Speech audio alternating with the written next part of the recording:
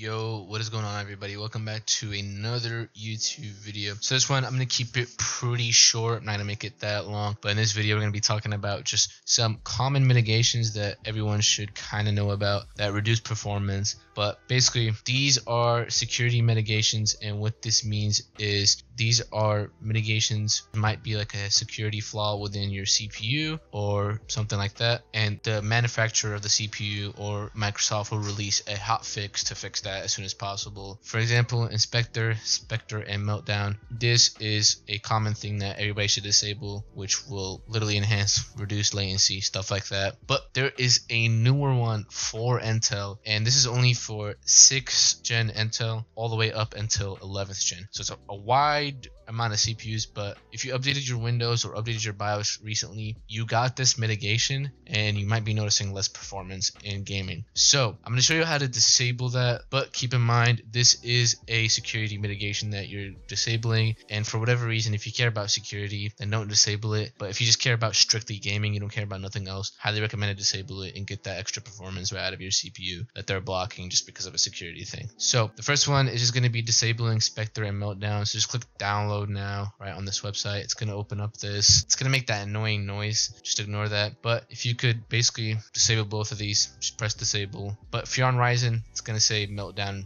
is already protected. Ignore meltdown. It's automatically enabled for Ryzen. You can't really disable it. But for Intel you could disable Spectre and meltdown and it should say no on Spectre and meltdown. Now the second thing is going to be downfall and downfall there's just going to be a registry command to disable this so I'm going to show it here in a second. So on this website, it shows you how to manually set this to disable downfall and it also shows you the command right here. So all we're going to do is just copy paste this command, the reg add, and then we're going to open up CMD. Make sure you run CMD as administrator and you're going to paste it in here and press enter. Now this is only for Intel. You don't really have to do this step. This is only for Intel 6th gen processors all the way up until 11th gen. So if you have anything newer or older or you're on Ryzen, you don't have to do this part. But InSpectre and Meltdown, try to disable that. If you're on Ryzen, just disable Spectre and that's pretty much it. You'll get extra performance unlocked out of your CPU and you might notice less drops and less stutters in game and just better smoothness in general. Especially for this downfall mitigation just because this is downfall mitigation. In some cases it makes you lose up to 50% performance and that's a huge amount. That's pretty much going to be it for this video guys. If you want a full PC optimization service where I go in depth, disable mitigations, disable stuff that's useless for gaming, make you have smoother gameplay, better FPS on your current specs, you'll be able to excel competitively and your PC will be a competitive gaming machine. So if you want that, link is in the description, xilly.as.me